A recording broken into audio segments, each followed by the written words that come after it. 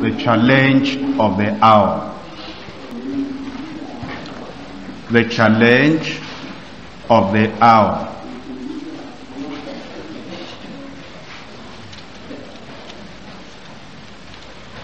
Every hour has its own challenge.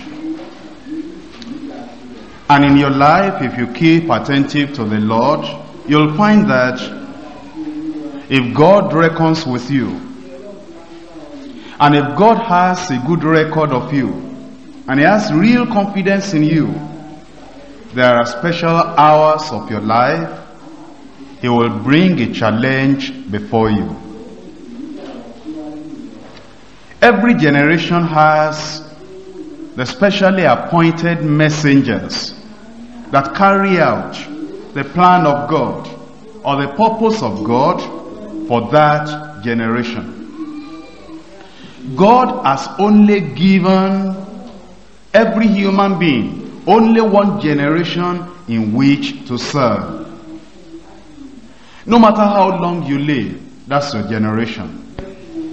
If you do not serve well in your own generation at your own time, once you have closed your eyes in death and you have left, you have gone to heaven, you cannot come back and serve another generation. So you must be very, very watchful that this is your generation. This is your hour. And you want to serve God and your generation at this hour of need. That is why the Lord is bringing before us the challenge of the hour. I'll talk about the call, the cowards, the courageous. When the call comes before you, there are two ways to follow. Either the way of the coward or the way of the courageous. But the challenge will come. And the challenge is coming tonight as we are all here. In Isaiah chapter 6, verse 8. Also I heard the voice of the Lord saying, Whom shall I send? And who shall go for us? That was the challenge of the hour.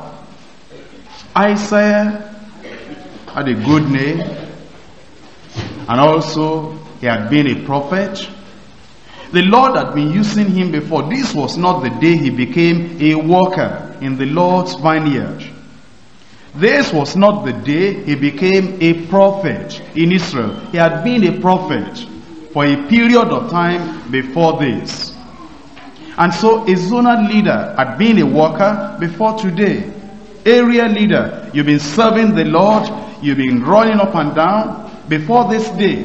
House fellowship leaders, visitation leaders, or full-time workers, you've been getting some work done. And so don't feel that, well, there is no challenge anymore. I've yielded my time to the Lord. I've yielded my life to the Lord. I'm already serving Him. And already I have converts. I have people who are following the Lord now through my efforts. That is nice. But you must remember that Isaiah also had had that type of ministry. He had preached. If you read chapters 1 to 5 of Isaiah, you will see the message and the vision that he had got. And he had, he had addressed the nation, sent the message to the nation. But now, this time came. The Lord showed him a fresh vision. After the whole vision. And after he had confessed his weakness, his uncleanness to the Lord, the Lord now gave the call. The challenge of the hour came. And I heard the voice of the Lord saying, Whom shall I send? And who shall go for us? As long as there is work to do, the voice of the Lord will be calling upon workers. Those who are deaf will not hear. Those who are not attentive will not hear. Those who are careless will not hear. But as long as there is work to do, the attentive worker, The one that is relying upon the Lord, he'll be hearing the voice of the Lord. And the work of the Lord is still here. There is so much to do.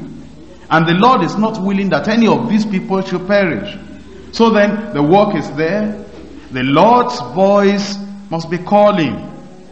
If you are not hearing, it's because perhaps you are deaf. And what a tragedy if somebody is deaf. Maybe it is because you are not attentive. And what a tragedy that the Almighty God is speaking and yet you cannot hear. But if you are attentive and if you are not deaf, that Lord is saying, Whom shall I send? Who shall go for us? That's the challenge. In Ezekiel chapter 3, Ezekiel chapter 3, I'm reading from verse 17. Son of man, I have made thee a watchman unto the house of Israel. Israel was a nation, but a nation still on earth. A nation having enemies. Because if they were no more on earth, if they were already in heaven, there'll be no need for watchman. Because there is absolute security in heaven. If there is no enemy for the Israel of God, the nation that God had set apart, if there is no enemy, there will be no watchman, no guard. when there are no thieves, there will be no necessity for security guards. But if there are thieves, if there are enemies, then there is a necessity for a watchman. And God spoke to Ezekiel, son of man, I have made thee a watchman unto the house of Israel. You think about it. Here we are still on the face of the earth. If the thief that comes to steal and to kill and to destroy is still operating, that is Satan, then it means God is looking for watchmen. For you to watch over the souls of people in the house fellowship. Watch over the souls of the people in the area. Or watch over the souls of the people in the zone. If the devil is there, if, the, if temptations are there, if problems are around, if there are things pulling the worshippers back, that they will not be able to worship God in spirit and in truth with all their hearts, then there is need for a watchman. And God is saying, this is a challenge. I have made you. Now, you can accept it and do it. You can reject it and not do it, but I have made you. He has given you the call. He has put you in that position. He has given you the responsibility. And it is not a type of figurehead responsibility. The work is there and you are to carry it out. I have made you a watchman unto the house of Israel. There are people that concern themselves where God has not given them responsibility. You see, at the time of Ezekiel, the children of Israel, some of them were about to be scattered out to other parts of the world. But God specifically outlined the area where he made Ezekiel a watchman. There are times you leave what God has given you to do in the house fellowship and you are concerned about other things in the church where God has not put you there are times a zonal leader will leave his primary assignment, his primary work, and he will get concerned with other areas where God has not put him.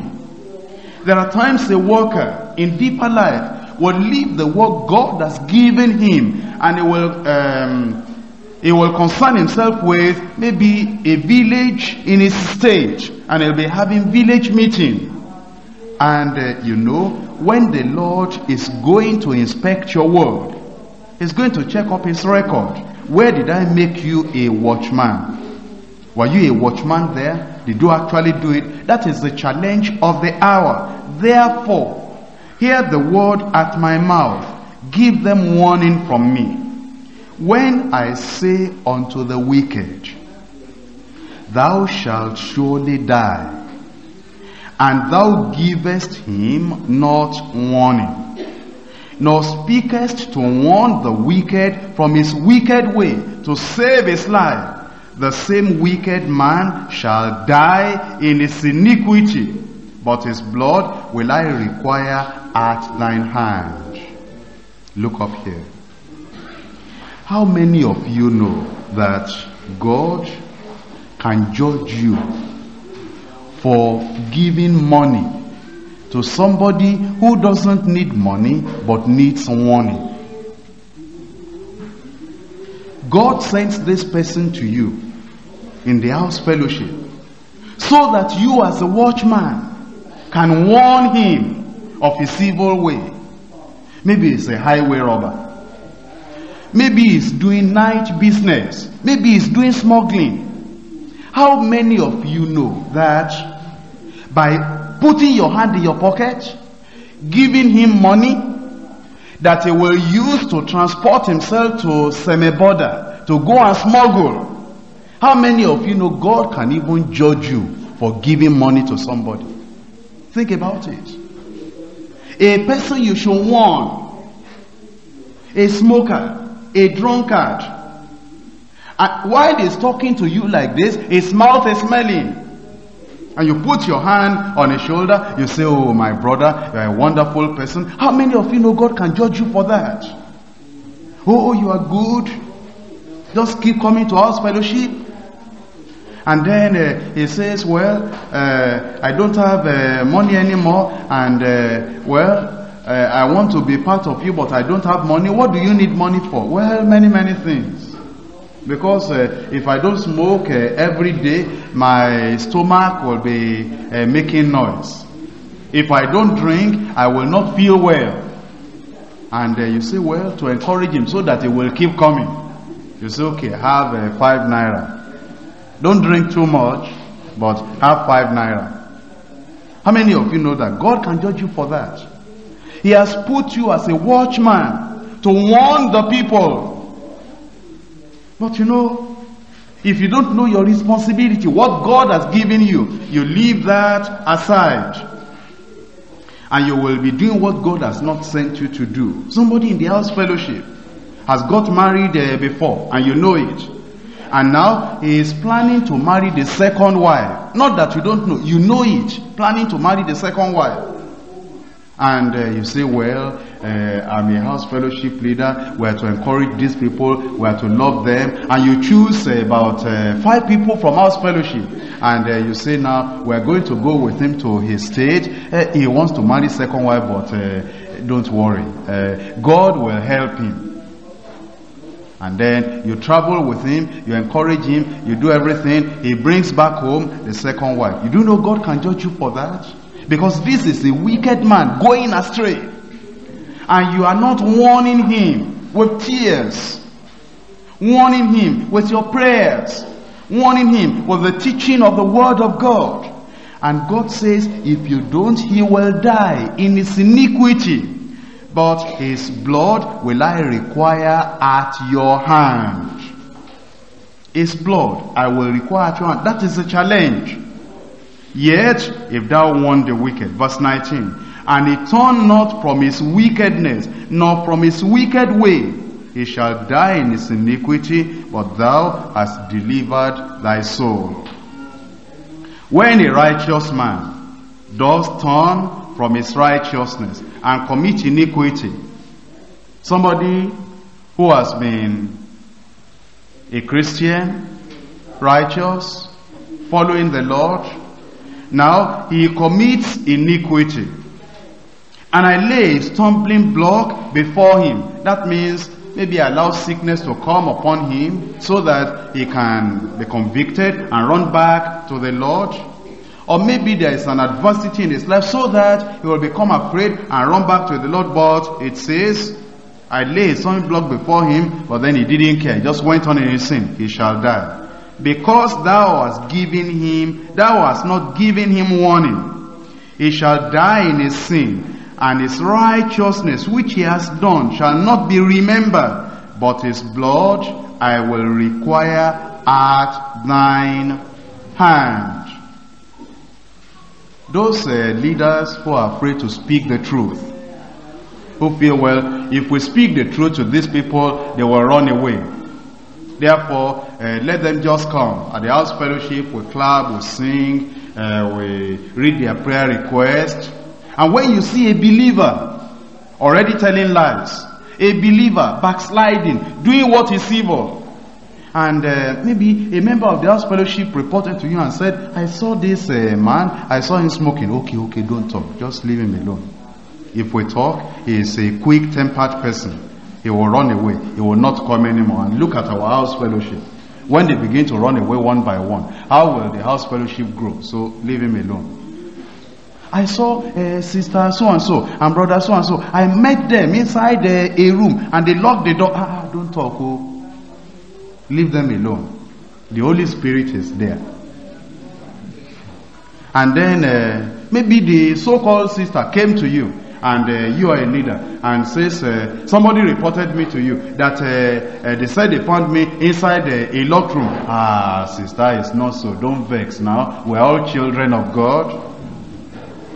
And you refuse to speak the truth to come out and say look the bible says when a righteous man leaves his righteousness and he goes to commit sin his righteousness i will not remember anymore. You don't confront him with the truth of the word of god and you're just saying, well, sister, sister, and don't worry about it.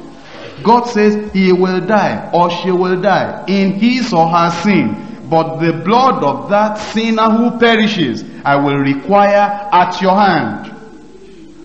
Nevertheless, if thou want the righteous man, and the righteous man, the righteous sin not, and he does not sin, he shall surely live, because he is one. Also, thou hast delivered thy soul. Now this is a challenge. God is giving us this challenge and is giving us this call. And he's saying, this is the work you will do. And uh, I pray that you'll receive grace from the Lord to do it in Jesus' name. Amen. Now, if anybody is asleep, uh, you must uh, wake him up. If your manager called all their workers together and uh, said, We're going to have a private meeting. All of you who have been working for three years, no promotion, uh, you must be there. And uh, those who have not been paid their salary for the past three months, you must be there. And uh, there, and he's trying to tell you about promotion, about anything, and it's already quarter to eleven and the manager is talking about promotion. Will you sleep? Uh-huh. This one is greater than money, so don't sleep. Uh, so let us pay attention and listen to what the Lord wants to teach us. Do we understand? Yes. Now I've told you about the call. Let's say the cowards. How the cowards behave. When the call comes to them, instead of they are taking up the challenge, saying, I have got the call, the Lord has said, Who shall I send and who shall go for us? And here am I, I surrender myself. The Lord has said, He has made me a watchman over these people. I will do the work conscientiously. Instead of doing that, some, some people are just cowards. Cowards. And in um, Numbers chapter 13, from verse 31, Numbers chapter 13, verse 31. But the men that went up with him said, We be not able to go up against the people, for they are stronger than we. They are stronger than we. We cannot warn the sinners. They are hard-hearted. These are the cowards. The Lord is making you a watchman. He's giving you a responsibility. And He's saying, this is what you are to do as a visitation leader you are the messenger of the king. The Lord is sending you forth. And he's saying, you go to them and go and talk to them about the love of God, about the grace of God, about the possibility of being set free from sin, and about coming back to the place where God has put his name and his power, where they can hear the word of God. And uh, you say, well, uh, the people, they are more educated than I am. I didn't go to school. I am an illiterate. That's what the cowards here were saying. They were saying they are stronger than we are. They gave me the card of that individual. But uh, when I got to their house, I saw that they are stronger than I am. They are more intelligent than I am.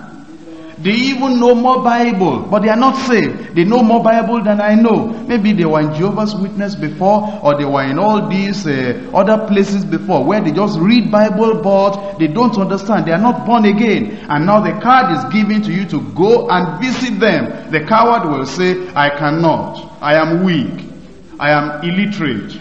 I am not educated. But that's the answer of the coward. In verse 32, they brought up an evil report of the land which they had searched unto the children of Israel, saying, The land through which we have gone to search it is a land that eateth up the inhabitants thereof. And all the people that we saw in it are men of great stature. Do you know there are people who are afraid to give the paper, miracle and healing news to their boss? They'll be shaking like this.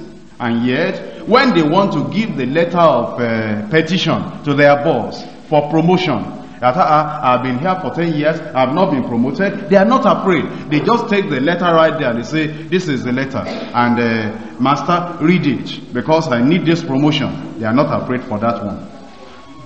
And when the union of their, the union of workers in their place of work, when they are meeting together and they are saying, oh, they must give us better conditions of service, they are there and they are talking.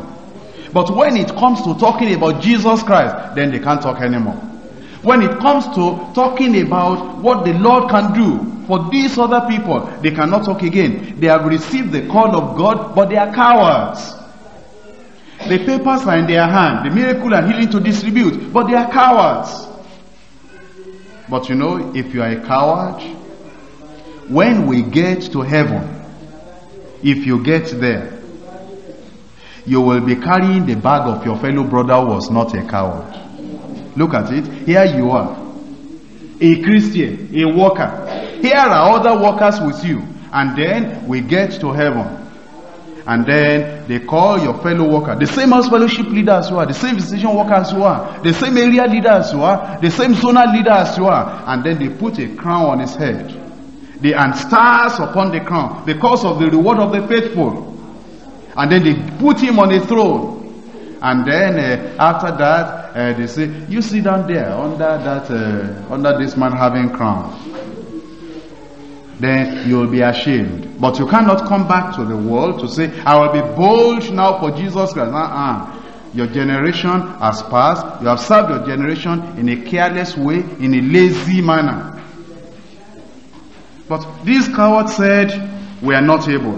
Verse 33, we saw the giants, the sons of Anak, which come of the giants, and we were in our own sight as grasshoppers.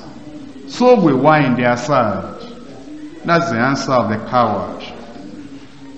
In Esther chapter 4. Esther chapter 4. I'm reading from verse 1. When Mordecai perceived all that was done, Mordecai rent his clothes and put on sackcloth with ashes and went out into the midst of the city and cried with loud and bitter cry. And came even before the king's gate for none might enter into the king's gate clothed with sackcloth. In every province whithersoever the king's commandment and his decree came there was great mourning among the Jews and fasting and weeping and wailing and many lay in sackcloth and ashes. What happened here is that Haman already convinced the king that all the Jews in Shushan and in all in various other provinces they should be destroyed on a particular day. And Mordecai heard about that. Therefore, he was concerned. Now look up at me here. But there was only one person that Mordecai knew who could really help in this situation so that the whole group of people who are Jews will not be destroyed. And that person was not an evangelist, was not a prophet. That person was not a pastor. That person was not an apostle, was not a teacher, was not even a man, was just a woman called Esther. And there are times like that when there is a special work that God has and you are the only person in your own area that can do that work for God. The only person in that office that can lift up the banner of the gospel in your office. The only person where you are living to be able to declare for Jesus Christ, you are the only person. The pastor cannot come there. The pastor does not even know that place. And yet, it's a serious assignment that God has put in your hand. Now, Esther was the only person that could do it at this time. In verse 4, so Esther's maids and her chamberlains came and told each her. Then was the queen exceedingly grieved, unhappy, and she sent raiment to clothe Mordecai, to take away his sackcloth from him. But he received it not. Then called Esther for Hathach, one of the king's chamberlains, whom he had appointed to attend upon her, and gave him a commandment to Mordecai, to know what it was and why it was. So Hathach went forth to Mordecai unto the street of the city, which was before the king's gate, the king's treasures for the Jews, to destroy them. And he also gave him the copy of the writing of the decree that was given at Shushan to destroy them, to show it unto Esther, and to declare it unto her, and to charge her that she should go in unto the king, and make supplication unto him, and to make request before him for her people. Hathach came and told Esther the words of Mordecai. Esther spake unto Hathach and gave him commandment unto Mordecai. All the king's servants and the people of the king's provinces, they know, they do know, that whosoever, whether man or woman, shall come unto the king into the inner court, who is not called, there is one law of his, to put him to death, except to such, such to whom the king shall hold out the golden scepter, that he may live. But I have not been called to come in unto the king these thirty days. Now the call came to Esther. Mordecai said, Esther, this is your work. If you don't do it, all of the children of Israel, the Jews who are in this place, they can be destroyed. And uh, if that happens, you know the covenant given to Abraham and given to us as Israelites, everything will lose everything. Therefore, this is your chance. This is what to do. And uh, Esther said, what will I do now? This is a difficult assignment because the king has not sent for me. And if you go to this king and he didn't send for you, except you hold out the, uh, the golden scepter in his hand, you will be uh, you will be killed. So I'm sorry, I can't do it. The call is there, but this is the coward. Aren't you like that sometimes? Speak the word, you can't because you are a coward. You fear men more than you fear God. You fear a woman like yourself that you are to tell the truth of the gospel more than you fear God. Or you fear a man like yourself whom you are to counsel and tell him the truth in the wisdom of God. You fear him more than you fear God. You say, well, I cannot. Or it is your senior brother living with you at home. He just sees you carrying Bible, going to church every time. You cannot open your mouth and say, my brother, it's true you are my senior brother. This life you are living, only God can make your life better. Let us go to church and say it with the power of God and with the wisdom of God. You cannot. A coward. Or there are even people in your own house fellowship that you are leading. You cannot open your mouth to talk to them about the life a believer should live. You live it and set the example and then show them and tell them from the word of God. You cannot. You are afraid. Because uh, you have tried to tell the people the truth before and they went back gossiping about you. And because of the gossip now, you cannot tell the truth anymore. And you say you are a fellowship leader. This was a coward uh, Esther, a, a position of a coward that she held. And said, oh, I'm sorry, I cannot do it. And then look at the answer. They told Mordecai Esther's words. Then Mordecai commanded to answer Esther, Think not with thyself that thou shalt escape in the king's house more than all the Jews. For if thou altogether holdest thy peace at this time, then shall their enlargement and deliverance arise unto the Jews from another place. God's work will be done. If you do it, God will give you a reward. If you say, I am sorry, I am afraid, I am not educated, I am only primary six, or I am uh, not a manager in my place of work, I'm only a secretary, or even though I am in IFL, uh, still uh, I don't have the courage, I don't have the uh, disposition within me to be able to do it. Okay, if you keep quiet, God is able to raise up stones and they will praise the name of God. But then understand that the work you should have done, which God will have given you reward for, another person who is even more foolish than you are, that person will do it. And then you will be left empty handed. Look at what Esther was told. But thou and thy father's house shall be destroyed. What a great judgment. Who knoweth whether thou art come into the kingdom for such a time as this? Then Esther bade them return Mordecai this answer. After Mordecai challenges her saying, you are a coward. Like I'm telling you tonight. If you are not doing your responsibility, the work God has put in your hand as a zonal leader, if you are not doing it, you are a coward. You are running for Satan. You are saying, ah, I'll be careful. Hmm. Because uh, that Satan is powerful. More powerful than your Savior. Huh? You fear Satan. You wait for the Savior. You wait for God. Say, God, do what you want to do. I, I prefer your judgment. Do what you can do to me, but I cannot face Satan. You fear witches and wizards, but you don't fear the judgment of God. And you say, ah, that woman now, if I challenge her about her evil ways, I don't know what she has. Maybe she is uh, in, in familiar spirit. Uh, because she's in familiar spirit, you can't tell her that God says the Lord. You are afraid.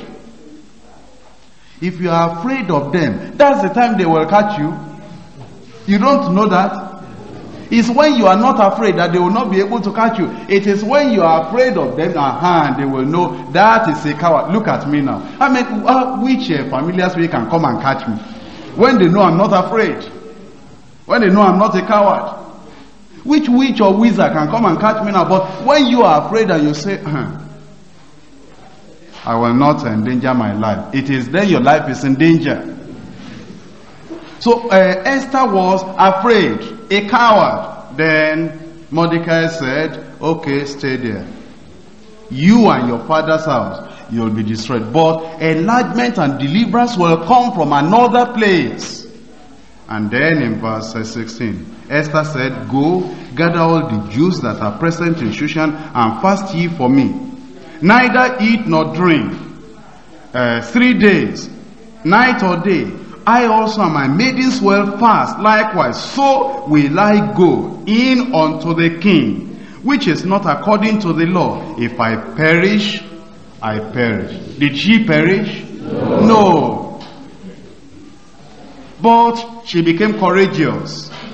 Look at Luke chapter 9. Luke chapter 9, verse 57. It came to pass that as they went in in the way, a certain man said unto him, Lord, I will follow thee whithersoever thou goest. Jesus saith unto him, Foxes have holes, the birds of the air have nests, but the Son of Man has nowhere to lay his head. We don't hear about the man anymore. Once Jesus said that, ah, he said, if that is so. He didn't wait for the other promise that they who forsake house or brethren or sisters will receive in this world a hundredfold. The little he had, he became afraid as a coward. He didn't follow anymore. In verse uh, 59, he says unto another, follow me. But he says, Lord, suffer me, allow me or permit me first to go and bury my father. Jesus says unto him, Let the dead bury their dead, but go thou and preach the kingdom of God. There are many people who delay themselves, disturb themselves with ceremonies in the world. And they will not be able to do the work that God has committed into their hands. You are a zonal leader, or you are an area leader, a house fellowship leader, and then somebody died in your village, and you take permission for one month to go and eat and drink in your village. The house fellowship is there. Some of the members, when they didn't see you to lead them, some of them are going away. You are burying your father for one month. And you say, well, that's what they do in our village.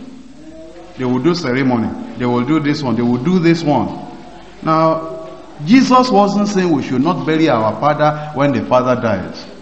Jesus wasn't saying that we shouldn't do the normal thing we ought to do, but to go away completely for weeks and say that you are burying your father and the work of God is suffering. Other people will say that uh, because of GCE, uh-uh, ordinary GCE that uh, even when it was difficult those days, there were many of us we were still uh, doing some other things. When I was in uh, my white garment church, I wasn't even a Christian.